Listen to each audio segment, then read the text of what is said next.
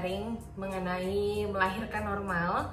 Karena aku sendiri lahirannya normal jadi aku pengen banget uh, kasih tips ke teman-teman yang pengen banget lahiran normal juga. Alhamdulillah aku diberi banyak uh, kelancaran dalam proses melahirkan normal. Jadi aku pengen share uh, tips-tipsnya apa aja. Mudah-mudahan bisa membantu dan juga bermanfaat ya buat teman-teman yang uh, pengen lahiran normal juga. Hmm, aku cerita mulai dari waktu usia kehamilan aku 37 minggu ya. Eh sorry uh, 39 minggu benar. Jadi aku lahiran itu uh, Aidan tuh 40 minggu lewat berapa hari gitu. Jadi emang udah lewat. Tapi uh, tetap bisa normal karena memang dicek terus setiap hari air ketubannya aman jadi ya udah tetap ditunggu. Nah aku mau kasih tahu dulu sebelumnya aku lahiran normal dengan dokter Yana. Nanti aku kasih instagramnya ya. Dokter Yana itu ada di uh, BWCC Bintaro uh, Women's Clinic ya kalau nggak salah ya. Pokoknya di BWC itu di Bintaro deket rumahku. Du awal pertama aku nggak sama dokter Yana awal aku tahu hamil aku tuh di dokter rumah sakit yang di Hermina. Terus akhirnya uh, ketemulah sama dokter Yana ini dan aku suka banget. Jadi aku rekomend banget mungkin teman-teman yang daerah Jakarta atau Tangerang itu boleh banget banget banget pilih dokter Riana kalau kalian beneran pengen normal. Karena dokter Riana tuh pro normal banget. Dan aku punya alasan kenapa aku bisa bilang kalau dokter Riana itu pro normal sebenarnya waktu aku baru lahiran aku tuh pernah bikin Q&A ada di YouTube aku kalian boleh cek ada Q&A 3 part dan penjelasan melahirkan aku seperti apa. Cuman kali ini aku lebih kayak mau ngasih tips aja. Tapi sebelum ke tips aku mau cerita dulu dong proses lahiran aku. Nah uh, waktu itu uh, Aidan tuh berarti udah hampir 4 kg perut aku tuh udah gede banget bahkan kayak udah di bawah. Nah hari hanya Aidan itu seingat aku tuh tanggal 20 Desember harusnya uh, due date-nya.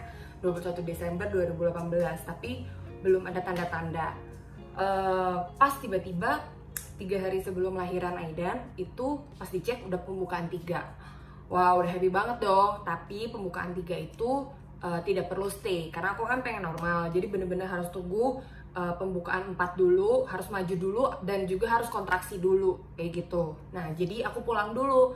Aku pulang dulu aku olahraga ini itu. Nah tips yang pertama yang pastinya yang harus kalian lakuin adalah uh, banyakin yoga. Karena yoga itu sangat membantu pernafasan kita pada saat nanti kita ngeden bener-bener ngefek banget. Jadi aku harap kalian yang sedang hamil mau hamil muda ataupun udah hamil tua rajin-rajin yoga. Mungkin kalau zaman dulu katanya sering ngepel jongkok dan segala macam. Aku sendiri tidak melakukan itu dan alhamdulillah aku bisa lahiran normal. Tapi yang aku lakukan adalah yoga. Aku bisa mengatur pernafasanku dengan baik. Uh, aku bisa mengatur emosiku supaya stabil pada saat kontraksi dan juga pada saat ngeden jadi yoga itu bener-bener uh, membantu banget. Senam hamil yoga pokoknya yang kayak gitu tuh kalian ikutin aja ya. Moms juga ketemu sama uh, bumil-bumil yang lain tuh bisa jadi kayak happy gitu kayak ada temen juga. Jadi nggak nggak nggak ngerasa sendiri. Pokoknya happy aja gitu jadinya. Karena hamil tuh kan harus happy ya apalagi udah mendekati mau lahiran. Nah jadi itu tips yang pertama wajib banget yoga. Beli gym ball ya. Yang kedua kalian wajib beli gym ball yang gede. Kalian boleh cek Instagram uh, YouTube aku juga ya. Ada untuk uh, supaya kontraksi awal tuh kalian boleh cek ya. Cek sendiri di YouTube aku. Itu bolehnya kayak gitu. Terus uh, ikutin aja itu caranya seperti itu supaya kontraksinya cepat datang. Sebenarnya dibawa happy aja ya untuk yoganya, jangan terlalu pokoknya aku pengen normal, aku pengen normal gitu. Karena jujur, nah ini sekarang aku cerita dari awal aku nggak pernah pengen tahu proses melahirkan normal itu seperti apa bahkan aku sendiri nggak pede aku bisa lahiran normal atau enggak. Akhirnya aku memutuskan untuk aku tidak mau cari tahu aku tidak mau uh, tahu prosesnya seperti apa nggak mau lihat videonya. Ya jadi kalian yang mau lahiran normal itu jangan pernah lihat video proses melahirkan. Please walaupun kalian penasaran banget tapi malah itu bakal bikin kalian parno takut dan sebagainya. Aku bener-bener nggak tahu. Sama sekali bener-bener kayak nggak mau tahu. Bahkan uh, Ata suamiku yang lihat pas mau ngasih aku lihat nggak nggak mau aku nggak mau lihat aku nggak mau lihat. Selalu gitu. Dan aku setiap di Instagram ada yang lahiran normal tuh aku skip aku skip. Gitu. Walaupun ya kita tahu lah ya bayangan nih ada seperti apa. Tapi kalau kita nggak praktekin kan sebenarnya kita nggak tahu kan.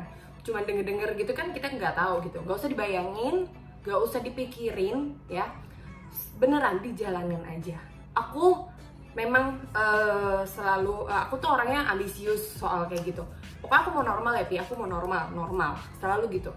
Nah ketika aku bertemu dengan dokter Yana dokter Yana memang pro normal. Tapi ketika aku ketemu pertama kali aku bilang dok aku pengen normal.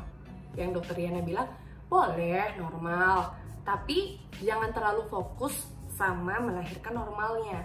Setelah melahirkannya kamu mau ngapain emangnya? Gitu. Jadi dokter Yana membuat aku uh, pikiran aku lebih terbuka lagi supaya oh ternyata uh, yang kita pikirkan tuh jangan cuma satu maksudnya fokusnya jangan ke normal doang gitu karena setelah melahirkan yang paling sulit itu adalah asi ya menyusui itu yang paling sulit jadi aku langsung kayak lebih legowo lagi lebih santai lagi ngejalannya oke okay, oke okay. jadi nggak perlu terlalu dipikirin cuek aja santai. Itu jadi bikin kita makin santai. Nah kenapa aku suka banget sama dokter Yana dokter Yana itu dokter yang sangat sabar dan menjelaskan detail sekali setiap pertanyaan kita. Ada WhatsAppnya juga. Jadi kalau misalnya ada in case ada apa-apa kita bisa WhatsApp langsung sama dokter Yana dan uh, fast respon banget gitu. Jadi uh, aku suka banget deh sama dokter Yana dan sangat membantu proses melahirkan aku secara normal gitu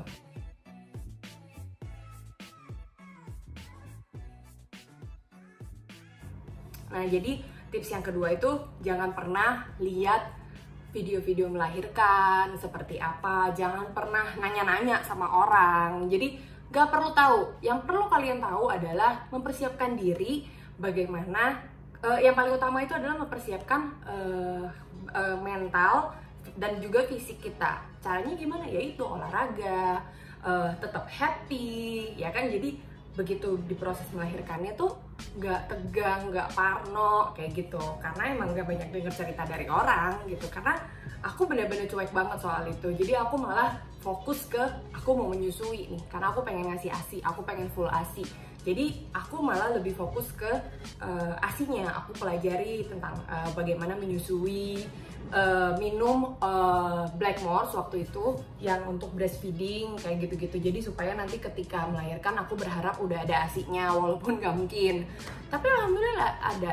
Begitu aku lahiran jam 6 pagi jam 9 tuh aku udah bisa menyusui. Dan Aidan adalah salah satu anak yang super pintar dia langsung bisa menyusui juga. Jadi kayak ya alhamdulillah. Mungkin ya itu dokter Yana tuh udah bener banget. Yang paling bener adalah yang dipikirkan bagaimana cara kamu menyusui nantinya gitu Oke, jadi itu tadi tips yang kedua, jangan ngelihat video-video uh, melahirkan ya. Uh, lanjut lagi ke cerita aku proses melahirkan. Pembukaan 3 ke pembukaan 4 itu tiga hari. Jadi aku ingat hari Rabu tuh aku udah pembukaan 3, gak maju-maju. Hari Kamis aku ke sana lagi cek. Masih aman, masih belum kontraksi, masih belum pembukaan 4, belum maju. Balik lagi, Jumat juga begitu. Akhirnya hari Sabtu pagi aku cek dan belum ada tanda-tanda. Tapi air ketuban aku masih bagus. Dicek tuh masih bagus semuanya masih bagus. Waktu itu aku uh, dokter Yana lagi di rumah sakit lagi nggak di klinik. Jadi uh, by telepon aku tanya sama dokter Yana dok gimana ya dok? Aku kayaknya nggak bisa nunggu lagi. Karena aku berasa Aidan tuh kayak udah di bawah perut aku banget dan aku tuh udah gak kuat. Dia tuh 4 kilo. Jadi kayak ya Allah udah tiga hari ini nggak ada kontraksi-kontraksi kayak gitu Tahu apa yang dokter Yana bilang sama aku? Kenapa aku bilang dia pro normal? Ini jawabannya di sini. Dokter Yana nanya sama aku, kamu yakin mau? Yakin dok, saya udah nggak bisa nunggu. Saya kayaknya mau sesar aja. Aku udah udah udah nyerah karena udah lama banget, udah capek nunggunya, udah nggak sabar pengen ketemu Aidan. Suami sama mamaku nemenin, tapi mereka selalu terserah Jessica keputusannya gimana. Bahkan suamiku juga kayak kasihan ngelihat aku kok nggak maju-maju ya pembukaannya. Akhirnya uh, papi juga ya udah terserah mami aja deh. Kalau mami mau sesar ya udah ayo gitu karena suamiku udah memang udah nyiapin uh, dana untuk terserah kamu mau lahiran normal atau sesar kayak gitu kan. Oke terus aku telepon ke dokter Yana dokter Yana mau bilang Jess gini deh kamu pulang aja. Jangan dipikirin deh. Coba jangan dipikirin mau lahiran normal Coba jangan dipikirin, santai aja. air ketubuhan kamu tuh masih bagus. Hari Selasa kita lihat nanti Selasa ketemu sama saya. Kalau memang kamu belum datang kontraksinya dan ternyata kamu uh, udah nggak sabar nunggu ya udah hari Selasa kita putuskan kata dokter. Waktu itu hari Sabtu. Selasa kita putuskan kalau memang kamu mau sesar. Oke deh dok. Ya udah kamu pulang jangan pikirin apa apa ini aja tetap stay happy jalan nge mall segala macam akhirnya pulang dari situ aku udah uh, pasrah. Terserah deh Aiden mau lahiran sekarang atau ntar terserah deh. Akhirnya aku nge-mall sama mamaku aku jalan-jalan terus uh, pokoknya aku makan jalan kayak gitu deh. Malam minggu suamiku lagi kerja. Kebetulan dia pulang cepat. Jam 10 malam dia pulang. Nah jam 10 malam itu uh, tiba-tiba padahal lagi nemenin suamiku uh, eh, lagi nungguin suamiku pulang kerja terus tiba-tiba pih kok kayaknya mules ya? Kayaknya aku mau pup deh aku bilang gitu. Ya udah kamu pup dulu sana. Duduk lama banget kok gak enak udah berasa gak enak gak enak gak enak. Akhirnya jam sebelasan pi nggak deh ini kayaknya kontraksi. Aku udah kayak gitu. Serius? Iya. Soalnya udah mulai jadi kalian boleh download aplikasinya. Aku lupa deh aplikasinya apa kalau ketemu aku kasih tahu kalau enggak kalian cari tahu aja. Ada tuh aplikasi yang buat tahu uh, kontraksinya tuh bener atau enggak gitu. Jadi bukan kontraksi palsu tapi kontraksi beneran. Karena kontraksi beneran tuh dia flownya itu uh, rata. Waktunya tuh rata. Jadi kayak per 10 menit sekali atau per 5 menit sekali. Nah aku tuh pakai aplikasi itu. Datang eh gak enak lagi perutnya. Aku tekan tekan oh iya bener. Di situ tuh langsung dikasih tahu langsung ke rumah sakit ya udah sebelum jam 12 malam itu langsung tuh uh, bawa barang-barang semua udah standby ke sana langsung dan kelu oh keluar ada keluar flag. Aku waktu ada keluar flag darah gitu. Oke okay, ya udah langsung ke rumah sakit. Eh, langsung ke BBCC nyampe oh ya udah duduk dicek beneran sudah pembukaan 4 udah sambung banget kan? Jadi kayak ya udah itu tadi pagi padahal baru bener-bener pasrah. Udahlah dok. Udah kayak gitu kan. Jadi maksud aku tuh aku uh, mau memotivasi para moms yang mungkin saat ini sedang hamil dan sedang menunggu kontraksi. Lebih legowo aja moms. Lebih apa ya aku yang aku lamin adalah ketika aku berpasrah uh, malah terjadi gitu. Jadi semakin kita banyak berharap malah nggak datang datang gitu. Jadi memang ekspektasinya tuh nggak perlu terlalu tinggi. Ya santai aja. Bener-bener semakin kamu santai itu akan semakin mendekatkan kamu ke jawaban yang kamu mau gitu loh. Jadi para moms yang masih nunggu kontraksi santai aja. Yang penting yang paling penting tetap dicek ya. Air ketubannya harus dicek ya. Harus. Setiap hari aku hampir setiap hari aku ke klinik hanya untuk cek itu. Karena aku juga takut kan. Takutnya air ketubannya udah hijau atau gimana. Jadi bener-bener harus dicek dulu kalau memang dokter bilang masih aman untuk nunggu ya tunggu aja gitu. Karena emang babynya aja masih nyaman di dalam atau gimana gitu kan. Ya udah akhirnya jam 12 pagi kan jam 12 uh, eh, tengah malam udah pembukaan 4 hari Sabtu masuk ke minggu dong itu udah masuk ke minggu. Ya udah udah stay. Kontraksinya luar biasa. Nggak bisa dijelasin dengan kata-kata. Aku sering banget dengar kontraksi itu begini begitu begini begitu. Tapi aku malah menunggu kontraksi itu dan aku sudah merasakan. Aku nggak mau kasih tahu ya kontraksinya seperti apa. Yang pasti kalian bisa rasain sendiri. Dan menurutku sangat-sangat worth it untuk dirasain. Jadi supaya ibu-ibu kayak oh begini ya ternyata orang tua kita dulu ngelahirin kita tuh begini gitu.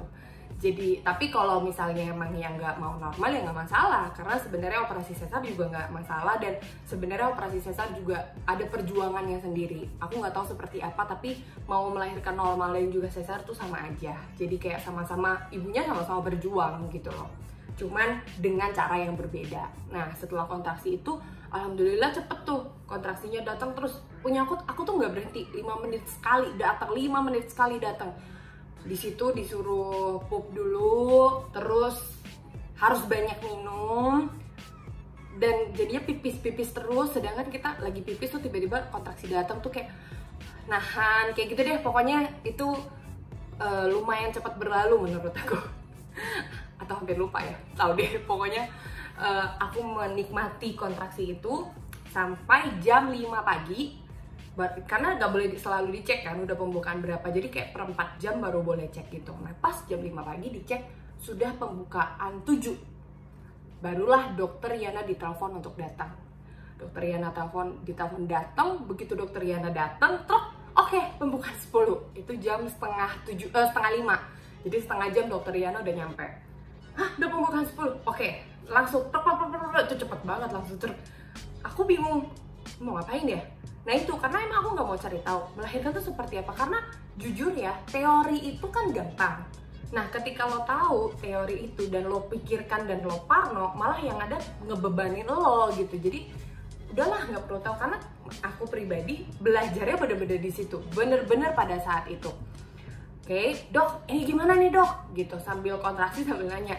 Santai Jess dokternya tuh santai banget. Dia tuh nyiapin bola gym juga gym ball. Nah kalian boleh bawa sendiri juga karena setiap dokter tuh punya punya gayanya masing-masing gitu. Kalian boleh bawa sendiri juga gym ball itu. Nah gym ballnya itu aku peluk ke samping. Jadi kayak aku tiduran tidur nih tapi meluk ke samping. Kalau kontraksinya belum datang. Itu gayanya kayak gitu. Caranya dokter Yana seperti itu. Jadi aku meluk punggung aku tuh dipijit sama dokter Yana dipijit pijit. Oke okay, yes ketika kontraksi datang kita mulai ngeden ya. Kalau mulai ngeden ya hadapnya ke depan. Kalau misalnya kontraksinya hilang peluk lagi uh, bolanya. Kayak gitu. Nah kenapa aku bisa hafal aku 21 kali ngeden? Karena sesinya itu kayak gitu. Sesi peluk sekali kontraksi datang kita ngeden dan uh, flow-nya kontraksi itu sekitar hampir 5 menit.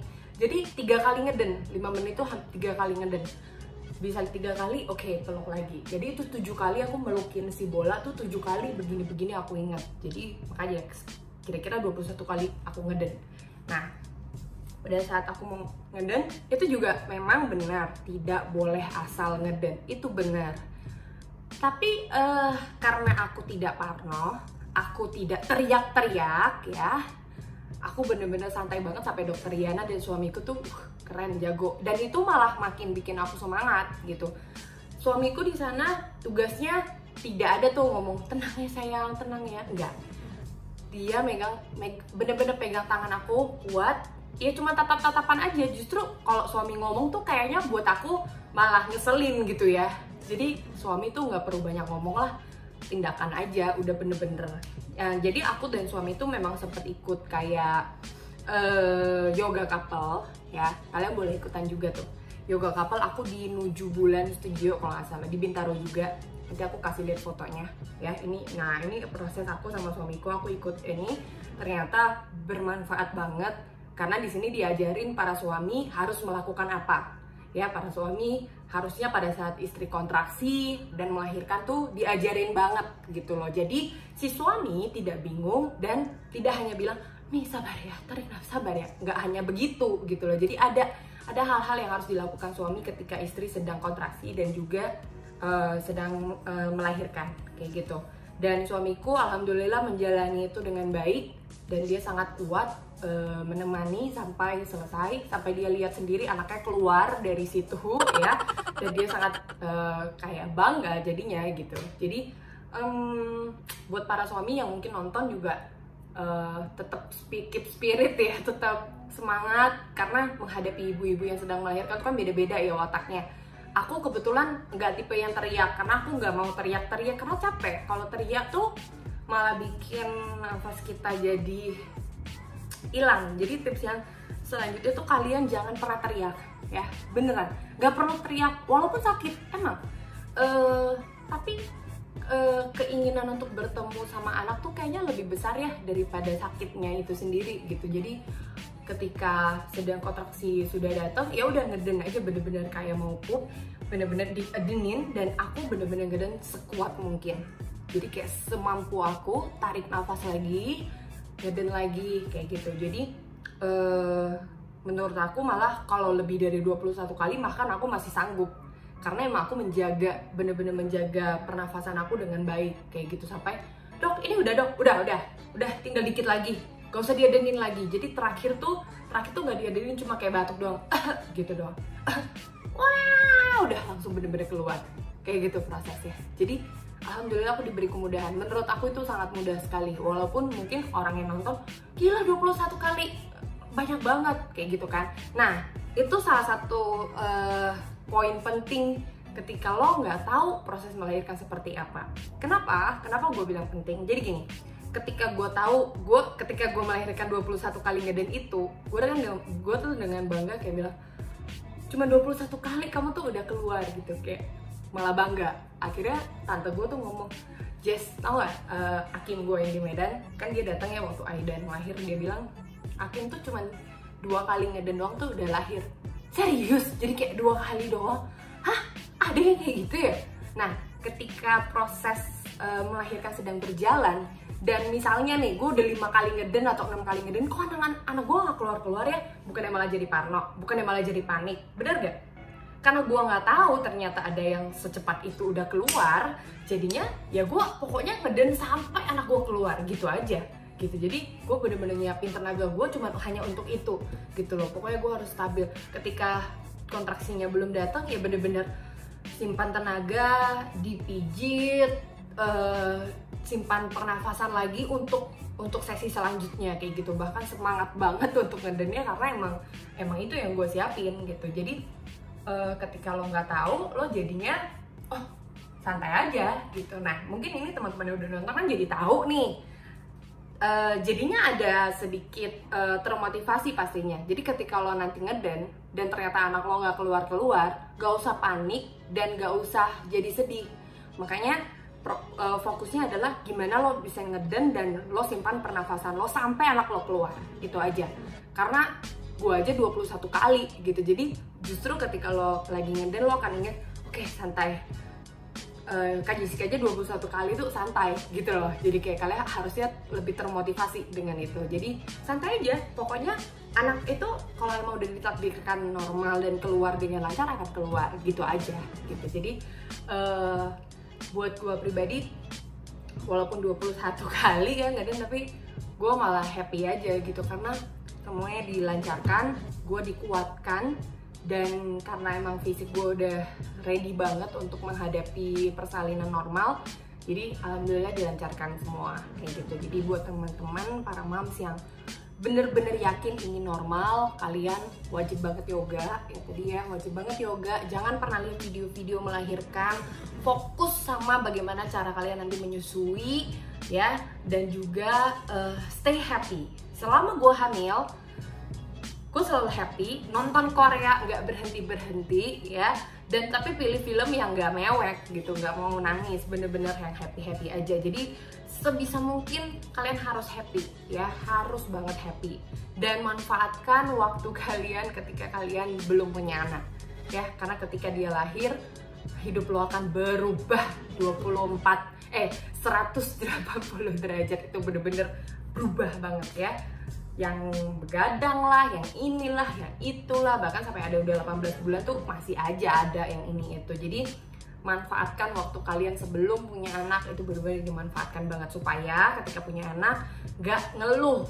Aduh gue gak punya waktu buat ini gue gue gak pernah ngeluh sama sekali. Tapi sama suami itu saling pengertian aja gitu. Kayak udah capek kan uh, papi tuh akan kayak papi yang bawa ya dan jalan-jalan mami me time dulu. Karena me time satu jam aja kita sendiri tanpa anak itu udah udah udah membuat kita refresh lagi dan udah rindu lagi sama anak gitu. Jadi uh, pinter-pinter aja memanfaatkan waktu kayak gitu. Jadi intinya balik lagi ke ke topik kita ya. Intinya uh, kalau kalian mau lahiran normal jangan terlalu dipikirin. Ingat pernafasan kalian tuh harus diatur. Jadi uh, spiritnya apa ya?